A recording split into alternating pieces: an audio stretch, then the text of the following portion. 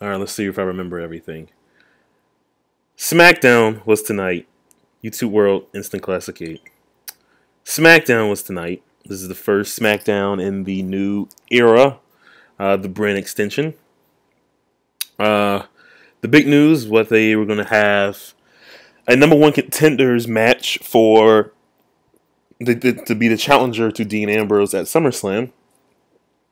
John Cena, AJ Styles, Bray Wyatt, Baron Corbin, and Dolph Ziggler. Five guys were in the match. They were doing a six pack challenge. They had a battle royal at the beginning of the show to determine the sixth uh, person, and it just so happened to be won by who the hell won it? This is how bad I forgot the show already. Um, Apollo Crews won it actually, um, which was pretty cool to see. It was big shocker. Kane, it was it was down into him and Kane. I thought Kane was going to win, but threw him out. Thought it was pretty cool. Um, couple of returns. One, we had Rhyno returning tonight. I don't know if you can say return. He's been on NXT for, uh, well, at least on and off for past couple months. He's been on there for a while. Um, so Rhyno showed up tonight, so I guess he's on the SmackDown roster. And then they aired a video package for Shelton Benjamin, quote, coming soon. So Shelly Benjamin will be making his return to SmackDown as well. Um, they brought out, they had a match with Becky Lynch and uh, Natalya. Becky Lynch ended up uh, tapping out T- Natalya to the armbar, I believe.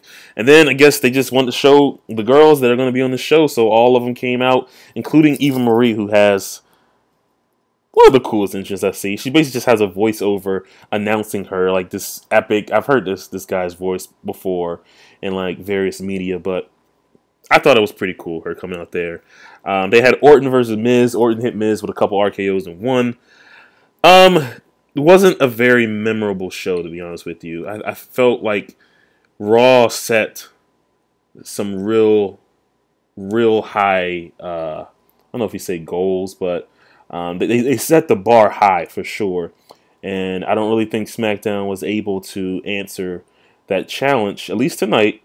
Um, but you can see that with the you know with the uh, with the roster that they have, it's going to be tough for sure. Um, but either way, it was a decent show. Uh, first time watching SmackDown in God knows how long. I, you know, I'll catch a match here and there, but never watching a full episode of SmackDown. So I don't know. We'll see where they go from here. Um, we have oh the winner. I'm sorry, the winner of the freaking championship uh, number one contenders match. Dolph Ziggler ended up winning. What the hell was that? Um, so he's gonna now face Ambrose for the championship. I guess that's your your title match for the WWE Championship at SummerSlam.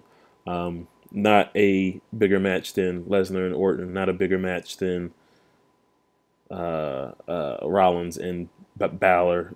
Probably not bigger than the inevitable Cena Styles match. Either way, that's what we're getting. Let me know if you're excited about it, what you think. Till then, I am Mr. Classic 8. Peace.